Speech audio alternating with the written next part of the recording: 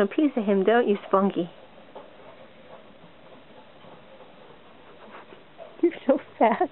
Waddle, you poor thing.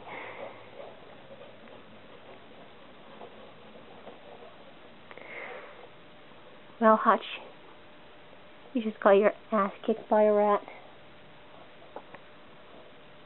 That's it. Walk off and defeat.